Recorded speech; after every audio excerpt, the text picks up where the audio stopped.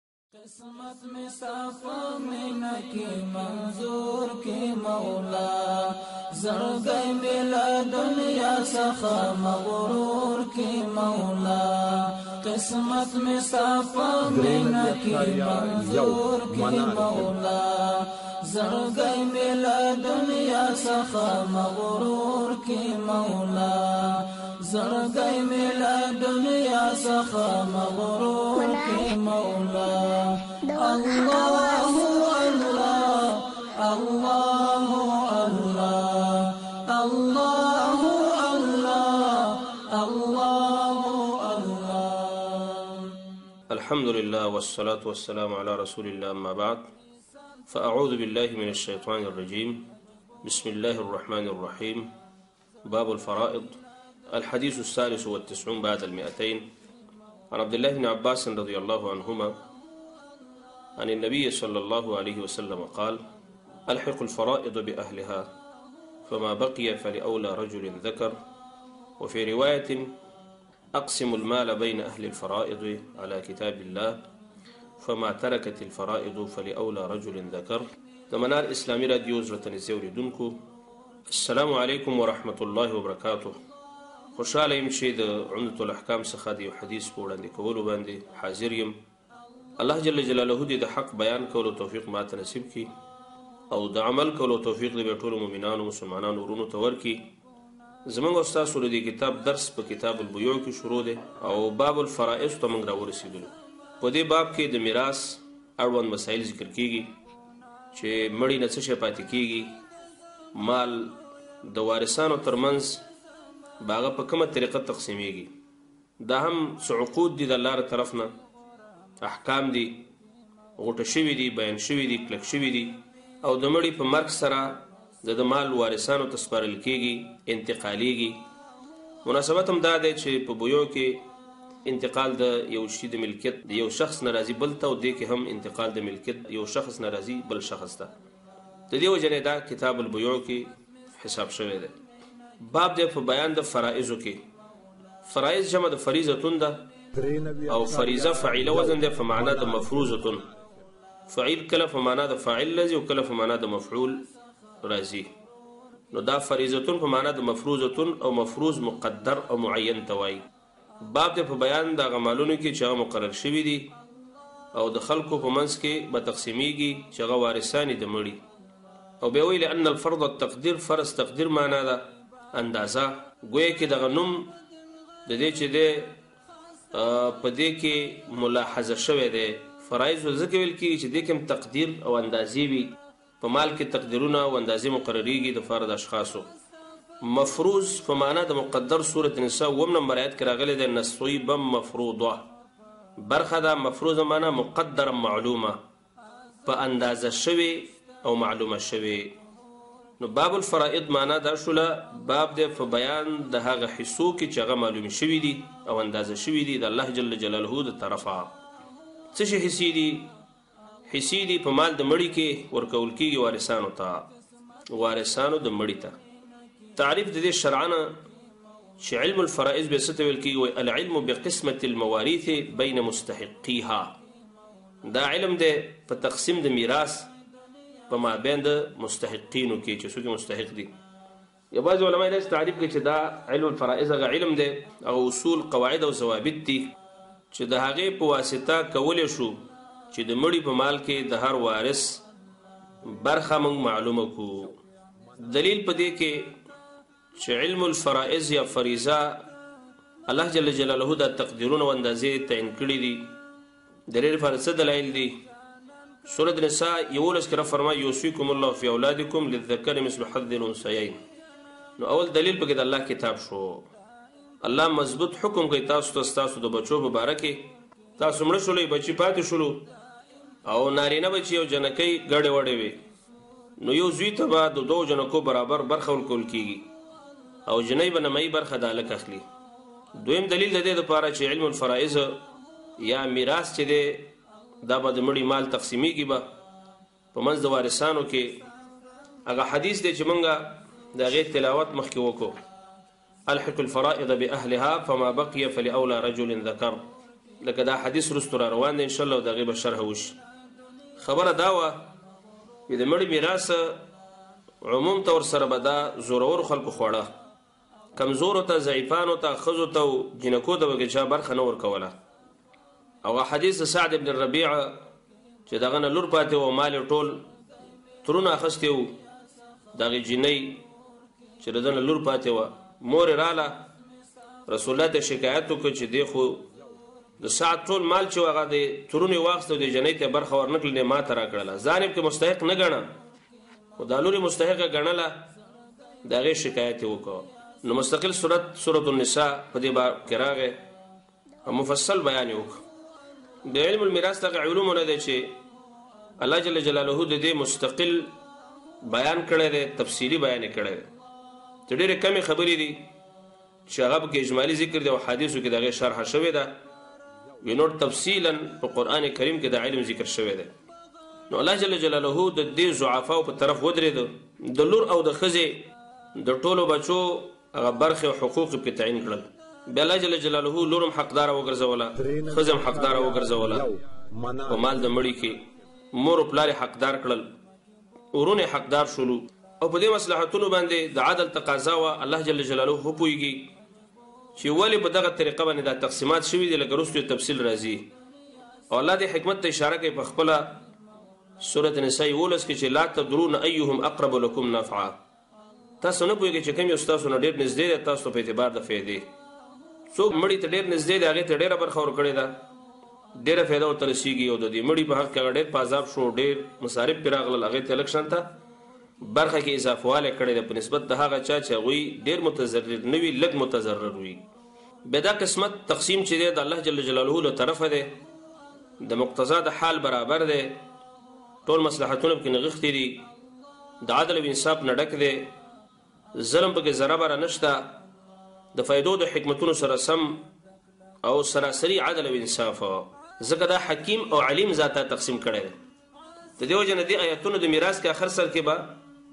د حکیم او علیم لفظ راځي چې الله بری تقسیم پویږي او چاله چې کوم برخه مقرر کړل الله پاک باغې باندې حکیم د حکمت اراز هغه ته معلوم دي چې ولی دومره مقرر کړه صحیح قیاس هم د دې تقاضا کوي چې مال د مړي دې هغه څوک واخلي چې د مړي تاوان په هغوی راته قیاس هم دا تقاضا کوي قرآن هم شو حدیث هم شو او قیاس هم صحیحه دا تقاضا وکړو نو په دې کې حکمتونه دي رازونه پکې دي حکیم او خبیر ذات د طرف نه دا تقسیم دی نو د ظالمانو لاسونه یې ته لنډ کړل چې د مړي په مال کې چې د چا څومره حق دی هغه بیان شو څوک اوس ظلم نشي کولی وتمت کلمت ربک صدقا وعدلا او دا ستا د رب د طرف نه تقسیم دی او دا د عدل او انصاف نه او د رښتیا نه ډک دی او دا د رب فیصله ده ومن احسن من الله حکما لقوم یوقنون څوک ډېر ښایسته دی د الله نه په اعتبار د فیصلې هغه قوم دپاره چې یقین کوي هغوی دپاره دا خبره ده بېخي نه خلک دې نه څه فایده نشي اخیستی اوس د دې بیان نه وروسته ومن اصدق من الله قولا ومن اصدق من الله حدیثا څوک ډېر ښه دی د الله نه په اعتبار د خبرو د چا فیصله ډېره ښایسته ده د دې بیان نه وروسته چې څوک هم د آسماني قانون په خلاف باندې چیغې وهي چې دلته ښځې سره زیاتی شوی دی او دا د ده کسر شان دی چې دله نیمه برخه ورکول کېږي د ورور په نسبت باندې په خپل ځای کې به انشاءالله بیان واورو را به شي خو د اوس نه دا واورئ تاسو چې زنانه هغه قشر و چې د جاهلیت په زمانه کې انسان نه حسابېده او هغه خلک ډېر منصفین و ځان ته به منصفین ویله انصاف والا خلک چې چا به ورته انسان ویله د ښځو ته به چا انسان ویله او بیا به دا ویل چې دا د نارینهو د خدمت لپاره پیدا شوي دي قسم قسم ظلمونه ژوندی ښخول پلار به مړ شو لورګانې به تقسیمولې دله چا میراث نه ورکو بلکې دا په خپله په میراث وړل کېدلې قسمه قسم ظلمونه د زنانه سره کېدل نو شریعت راغی او دلته د ده دپاره انسانیت یې لا څه کړي چې د مړي په مال کې، د پلار په مال کې او د خاوند په مال کې ورته برخه تعین کړله او دا یې حساب کړل چې مور په یو کورنۍ کې او په ټولنه کې سعادت دی، نیکبختي ده، ښځه مور ده، ښځه نیا ده، ښځه سعادت دی، ښځه نیکبختي ده، په یو کور کې ښځه د دې ټولنې نیم قشر دی، د فامیل د جوړېدلو اساسي رکن او بنیاد دی، نو په دې ټول کامل احترام ورته قایل شولو. او د مړي په مال کې ورته میراث ورکړو بیا دغه تقسیم راځي چې ښځو لپاره څومره میراث تعین شوی دی خو د یوې خبرې کې خلک ډېر اعتراض کوي څوک چې د یهودیت نه او نصرانیت نه د دیموکراسۍ نه او د کفر نه ډېر متاثر وي چې دا ورور او خور دا یو شان ده د مور او پلار نه پیدا دي څنګه د مړي په مال کې د ورور لپاره دوه برخې دي او د لور لپاره یوه برخه ده چې کله دا شریک راشي د ډېر ډېر حکمتونه دي او جوابونه دي یو جواب یې دا دی چې کله لور یې وایي هغه لپاره نیم مال دی ګوره ورور ورسره نشته دی بیا دا نیم مال د مړي اخلي کله چې د ورور سره راغله درې روپو کې یوه روپۍ اخلي هغه وجه دا ده چې د مړي ضرر د جنۍ ورور ته ډېر رسېده نه دی خور ته پلار خدمت چې دی په زوی لازمي دی په لور خو لازمي نه دی همدا زوی چې دی پیسې پیدا کول او په دې مصرفونه کول نو وس چلو شو چې هغه مړ شو د په مال کې به درې لک روپو کې دوه لک روپۍ ورور اخلي یو لک به خور حالدار چې هغه په دې پلار باندې یو روپۍ هم نه د مصرف کړي دوی مدار چې د واده مصارف په ورور باندې راځي چې کله واده کوي او جنې چې کله ودیږي نو هغه مالدار کیږي د خاوند او دغه د کورنۍ نه لس تولې او شل تولې 50 تولې سره اخلي غریبه ښځه استعمالداره شي، غنۍ شي، د پلار نه میراث واخیسته، د خاوند نه یې مهر واخیستو، بیا چې کله خاوند یې مړ کېږي، د هغې نه میراث اخلي، بچي چې پیدا شي او د هغه مړ کېږي، هغه کې میراث، هر ځای کې میراث او برخې اخیستل کېږي او حال دا دی چې په ده باندې هېڅ قسم مصرف نشته دی. نو شارح حکیم او خبیر ذاته مصرف په زوی باندې ایښی او نو ده له دوه برخې ورکړلې ځکه چې ده باندې مصرف د مور و پلار دی، ده باندې مصرف د خپلو اولادونو دی، ده له مصرف د مهر دی، ښځه به ځان لکه هغې ته مهر ورکوي او دا تاوانونه دا په جینۍ باندې نه وي. علم المیراث چې دا شریف او جلیل علم دی یادول په کار دی هیرول نه دی په کار ځکه ولنې علم چې د خلکو نه اوچتیږي هغه په علم المیراث وي ځکه څوک په عمل نه کوي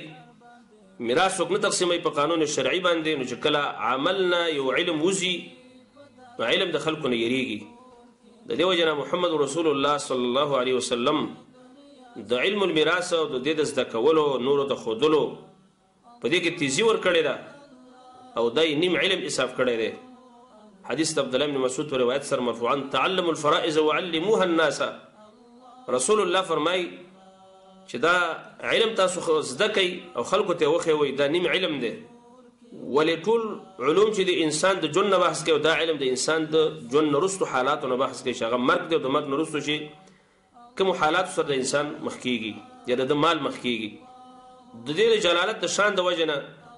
چې علم المیراث ډېر اهم او مهم علم دی سلفو په دې کې مستقل کتابونه لیکلي دي چې څه پکې منظوم دي او څه منصور دي او د دې په اهمیت کې دومره کافي ده چې سورة النساء ټول په علم المیراث کې لګېدلی دی اکثره برخه د سورة النساء هغه بیان د میراثونو کوي علم الفرائض یو څه برخه سورت انفال کې ده څوی سورت احزاب کې اکثره بیان بحث په سورت نساء کې ده که دا مهم علم نه وي نو رب العالمین په دومره ترکیز ولې کاوه د دې لپاره چې موږ تاسو دغه فرایض او دغه معلومه برخه د قران او د حدیث نه معلومه کو د مړي په مال کې چې کومه برخه د خلکو رسیږي نو اولنې خبره دا کو چې ارکان د میراث دا درې دي. څه مقدمې ږدو چې په وروستو درسونو باندې پوه شو. اګر که په دې مختصرو درسونو کې مو ټول علم المیراث نه شو راټولولی، ټول جزیات، ټول قاعدې، ټول ایتونه او حدیثونه نه بیانېږي.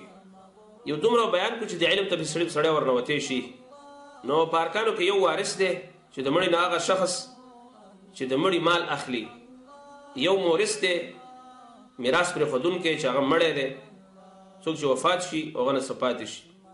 بیا هغه مړی ته مورث ویل کیږي چې مال ته پاتې شي چې مال ته نه پاتې کیږي مړی دی خو مورث به نه دی یو وارث شو یو مورث شو او دریم رکن موروث دی هغه مال موروث هغه مال ته ویل کیږي چې مړی پریږدي وارثانو ته وارثان په خپل منځ کې تقسیموي نو دا درې خبرې وي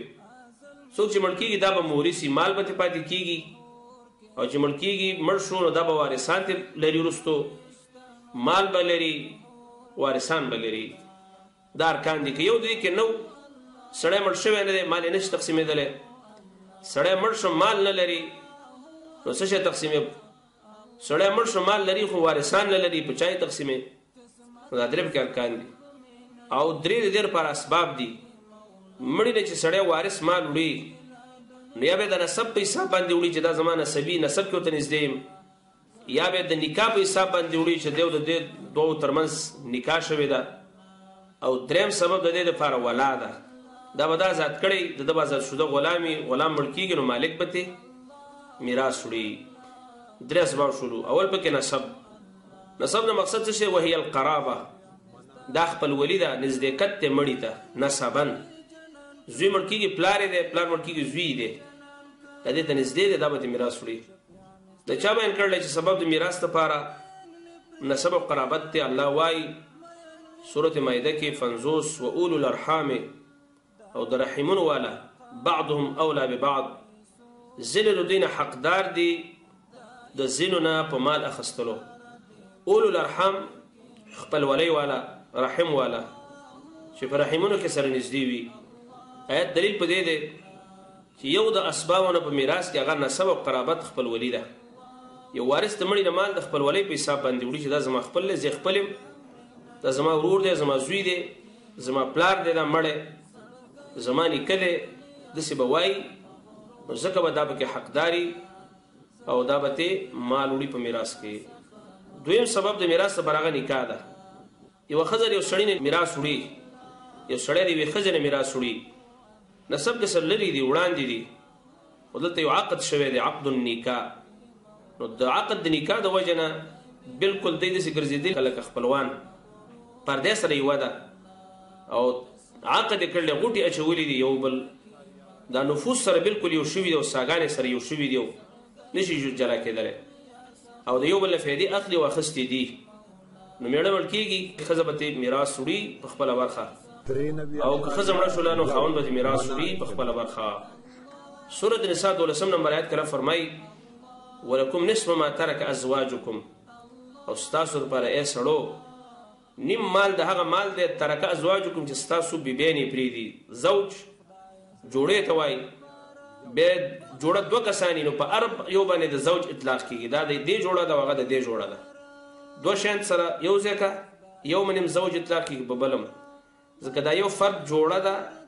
زوج د دې دی دا بل فرد زوج د دې بل له سړی ته زوج وای ځکه چې خزه د سره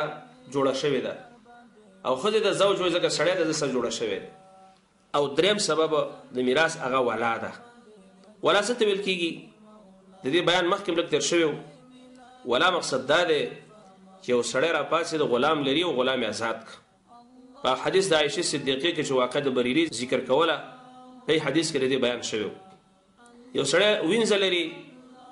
غلام لري او آزاد یې کړ که دا غلام او وینځه مړه کېږي پس چې مال ترې پاتې کېږي نو دا به د کافر مور او پلار ته نه لېږل کېږي دلته دقه سړی به اخلي چې چا ازاده کړې ده الولاء لمن عتقه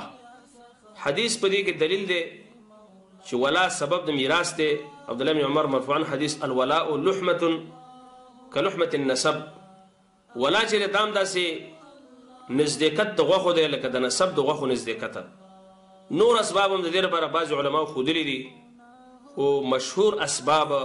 د علماو په نظم دا درې دي. نو هر کله چې د درېو اسبابو نه یو سبب موجود شو د دقې سبب په وجه باندې کولی شي چې د مړي په مال کې د خپله برخه واخلي. سړی مړ کېږي زوی راپاڅېږي زما په حق دی ځکه زه یې زوی یم یو وایي زه ورور یم، بل وایي زه ښځه یم او بل وایي چې زما یې حق دی ځکه دا زما غلام و ما ازاد کړی و، دا احسان پې ما کړی دی چې دا مال یې ګټلی دی او د ده په جب کې پروت دی دمنه دا احسان ما کړی نو ځکه دا مالدار شوی دی که چرته دا احسان به ما نه وی کړی او زما غلام به زما خدمتونه کولې د یو روپۍ ګټلې نشو او که ګټلې وي نو حق زما خو زما کېدلی ځکه غلام او مال د غلام د مالک وي. درېیمه مقدمه دا یادول غواړي چې موانع د ارث چې دي دا معلومول غواړي. کله نسب موجودي یا عقد د نکاح ولای خو یو مانع موجودي د دې مانع د وجنه هغه سبب به کار نشي کولای سبب د نسب د قرابت او سبب د نکاح یا سبب د ولا ته ذکر شروع خو یو مانع منځ ته راغی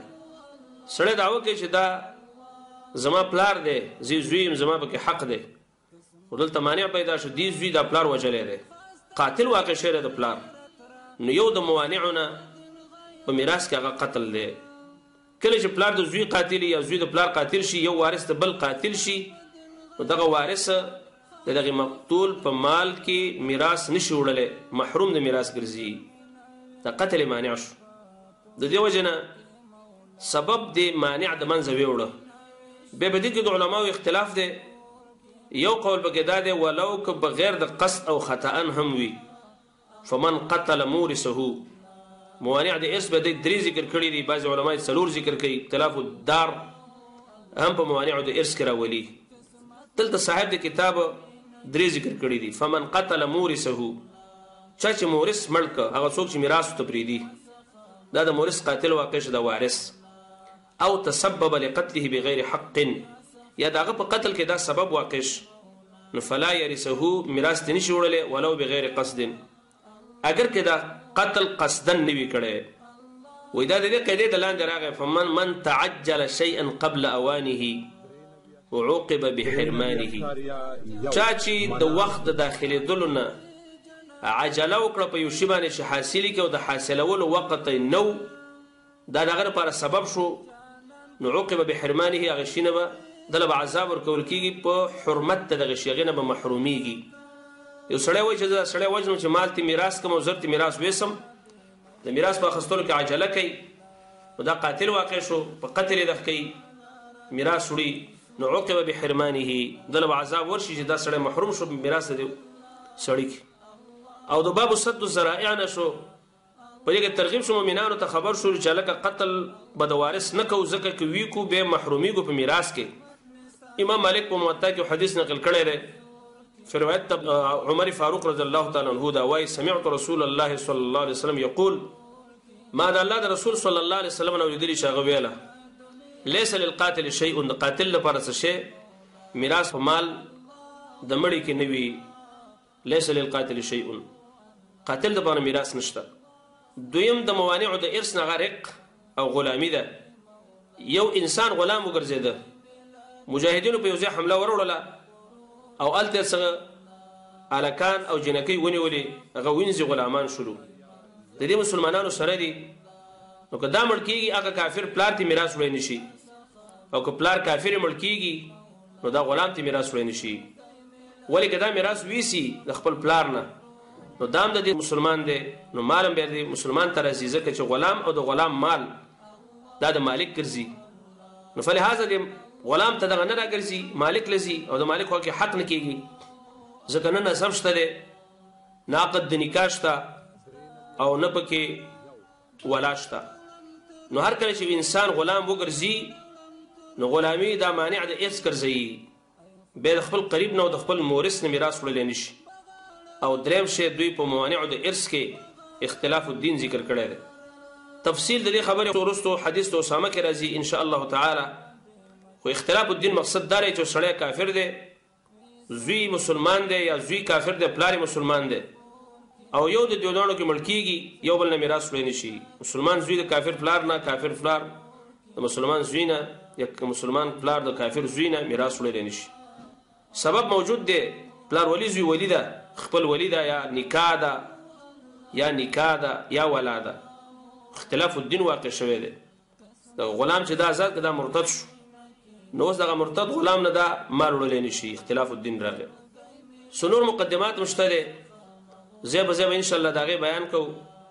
یو مقدمه به بلم وای به حدیث تلل شو غا دا ده کله چې انسان مړ شي نو داغه مال پورې څلور حقوق متعلق کیږي په ترتیب سره اول حق تکفین او تجهیز ده مړي د مال نه به د مړي کفن او د مړي قبر او تیږي دغه چې کوم ترتیبونه دي د خخېدلو پورې که څوک به تبرع نه کوي احسان او صدقه پې نه کوي نو دا به د مړي د مال نه کېږي وروسته د غیر به کتلی شي په مړي باندې قرضونه شته که نشته قرضونه پې شته نو قرضونه به د مړي د مال نه ادا شي دریم شی وصیت دی وصیت یې کړی دی نو په دریمه حصه کې د دریمه نه څلورمه پنځمه شپږمه لسمه چې د دریمې حصې نه ډېر نه په دومره شي باندې د وصیت کړو نو دغه وصیت په د د مال نه ادا کړی شي دا درې کارونه چې تکفین تجهیز شو قرضونه ادا کړی شو وصیت هم ادا شو نو به سلورم حق د وارثانو د مال پاتې نشته نو وارثان به څادر څټنوي او زیبه دغه سن پاتې نشولو او کچې ته مال پاتې شون بیا د وارثانو حقوق دي حقوق به دې شان سره تقسیمیږي چې د مړي په وارثانو کې یو ذوی الفروض دي دا هغه اشخاص چې په قران او حدیث کې دوی ته برخه ټاکل شوې دي دویم عصبه دي د مړي خپلوان د پلار د طرف نه دریم ذوی الارحام دي د مړي خپلوان د مور د طرفه او څلورم شی چې دی هغه مولا دی مولا العتاق چې ورته مخکې ذکر شولو ذوی الفروض نه څه پاتې شول عصبات به واخلي که عصبات نه عصبات نو ذوی الارحام به واخلي که ذوی الارحام نو نو مولا الموالات به واخلي هغه څوک چې هغه دا نشته نه ذوي الفروض شته نه عصبه شته دی د یو مړي نه ذوي الارحام شته څوک شته یو څوک شته چې دی آزاد کړی دی نو دا مولا به له میراث اخلي که دا هم نور بیت المال ته به ځي وجه دا چې د دې سړي د دې مړي تاوان په همدې ترتیب باندې راځي که یو سړی مړ شي هېڅ هم په دې باندې نه شي نو تکفین تجهیز به وارثان کوي ذوي الفروض که ذوی الفروز نه نو عصبه به کوي که عصبه نه ذوی الارحام به کوي که ذوی الارحام نه یو سړی غلام مړ دی نو مولا به ورته کوي که دا هم نور بیت المال اسلامي نظام حکومت به ورله کوي نو الغرم بالغنم نو ګټه په تاوان کیږي څوک چې تاوان کوي به ګټه مخلي دا سړی مړ شمال ته پاتې شو نو د وارثانو په حقوق اول ذوی الفروز شلو ځکه تاوا دوی باندې اول راته بیا ځو عصبه شلو ځکه په دوی دویم راته بیا ذوی الارحام شو ځکه په دوی باندې دریم راته او که دا نه نو بیا مولا الموالات او الحکومه الاسلامیه نور څه قواعد هم دي ان شاء الله زیبه زیبه دغه بیان وشي بعض علما په موانع د ارث کې اختلاف الدار هم ذکر کوي د مسله یو سړی اوسېږي په دار اسلام کې بوزوی اوسېږي په دار کفر کې اگر کغه مسلمان دی خو اوسېږي دار کفر کې نو دغه مسلمان نشي کولای چې دار کفر کې زوی مړ شوی دغه میراث تل تراوړي یا دا دا دار کفر مسلمان نشي کولای چې د پلار نه چې په دار اسلام کې اوسېږي دنه میراث ویشت اختلاف د دار مانع د ارث دی عند بعض العلماء راځو حدیث ته د حدیث لفظي ژباړه کو اجمالی معنی کو ان شاء الله تعالی او د دې نور تفصیل چې دی هغه په راروان درس کې به د الله په توفیق سره وشي د دې حدیث الحديث الثالث والتسعون بعد المئتين دوه سوه درې نویم حدیث عن عبد الله بن عباس رضی الله عنهما د عبد الله ابن عباس رضی الله تعالی عنهما نه روایت دی چې دا د رسول الله صلی الله علیه وسلم د تر زوی دی د عباس زوی دی ترجمان القرآن هغه څوک چې الله ورته فقاهت ورکړی په دین کې روایت کې د رسول الله صلی الله علیه وسلم نه قال هغه فرمایلی دی الحق الفرائض باهلها پیوسته کې حصے خپل مالکانو ته یعنی ذویل فروز ته خپل برخه ورکي چې کله سړی مړ شي نو ذویل فروز ته د فرض خوندانو ته د برخو خوندانو ته دا غوي برخه حواله کوي فما بقي چې چې پاتې شول دا غوي د برخونه ارچا د خپل برخه ورکړل شول بیا هم څه پاتې شول نو فلی اولا رجل ذکر دا برخه به چا د پاره فلی اولا رجل د هغه سړي نارینه چې هغه مړي ته ډېر نږدې دی همدقه به بیا عصبۍ دا برخه به نور هم هغه ته ورکول کېږي سړی مړ شو پلار دې پاتې شو ښځه دې پاتې شوله لورګانې دې پاتې شولې زوی دې پاتې شو ټول به خپلې برخې واخلي کوم مال چې پاتې شو ټول به زوی ته ورکړی شي ځکه دا زوی چې دی دا قریب عصبه دی نږدې عصبه دی چې دا کله موجودي نور عصبات هغه محروم د میراث دي او په بل روایت کې راغلي دي اقسم المال د مړي مال تقسیم کوي په مابین د میراث خورو کې بین اهل الفرائض په مابین د هغه کسانو کې چې هغوی حسی مقرر دي د الله جل جلاله په کتاب کې بین اهل الفرائض علی کتاب الله په مابین د هغه کسانو کې د هغې حصې مقررې دي د الله په کتاب کې فما ترکت الفرائض